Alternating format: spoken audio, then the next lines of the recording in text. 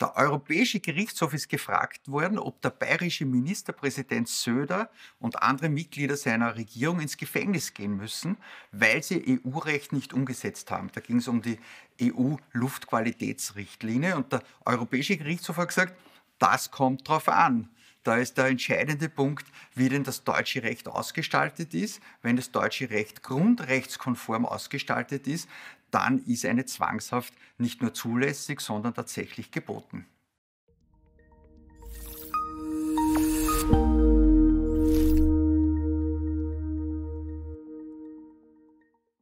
Hallo und herzlich willkommen. Mein Name ist Martin Niederhuber von der Rechtsanwaltskanzlei Niederhuber und Partner mit Sitz in Wien und Salzburg. Und der Europäische Gerichtshof hat am 19.12.2019 diese brisante Sache entschieden.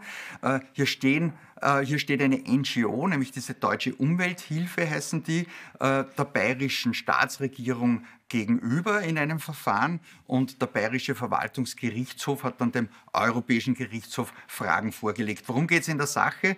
Ähm, es geht um die Luftqualitätsrichtlinie, die sagt, na, wir haben Qualitätsziele und da muss man dann halt Maßnahmen setzen und für bestimmte Luftschadstoffe gibt es auch Grenzwerte. Und in unserem Fall geht es um Stickoxide und in München sind die Stickoxid-Grenzwerte überschritten. Und deswegen ist schon vor einiger Zeit Bayern verpflichtet worden, den Plan, den Luftqualitätsplan abzuändern. Ja, und die Bayern haben gesagt, das machen wir aber nicht. Wir sind zwar gerichtlich verpflichtet, wir machen es trotzdem nicht und haben dann Zwangsgelder bekommen und die haben sie dann einfach bezahlt. Ja, das war ja nicht so besonders hoch.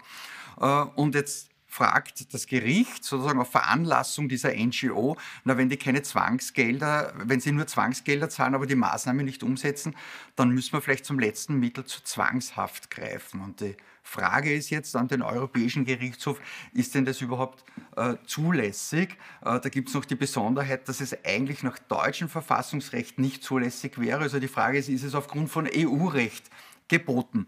Und der EuGH sagt, naja, wenn so ein Urteil, so ein nationales Urteil ohne Folgen ist, also wirkungslos, es wird einfach nicht umgesetzt, dann verstößt das ja schon mal gegen EU-Recht, weil es gibt das Recht auf einen wirksamen Rechtsbehelf. Es gibt außerdem noch Artikel 6 Europäische Menschenrechtskonvention und die werden verletzt, wenn Urteile nicht umgesetzt werden. Aber, sagt er, es gibt auch den Artikel 52 der Grundrechtecharta und da geht es um den Schutz des Lebens. Ja, und da sagt, dann muss man jetzt eine Abwägung treffen. Eine nationale Bestimmung kann natürlich zu einer Freiheitsbeschränkung führen, wenn folgende Voraussetzungen gegeben sind. Sie muss hinreichend zugänglich sein, sie muss präzise sein, vorhersehbar und Willkür muss vermieden werden. Und deswegen sagt der EuGH, liebe Deutsche, ihr müsst euer nationales Recht prüfen, ob es diesen vier Kriterien entspricht. Wenn es den vier Kriterien entspricht, dann ist zwangshaft geboten. Ja, Wenn es den vier Kriterien nicht entspricht, dann geht die Zwangshaft nicht. Dann greift möglicherweise Staatshaftung. Das kann auch für Deutschland teuer werden. Für uns in Österreich ist es natürlich auch spannend, weil ähnliche Konstellationen haben wir auch hier.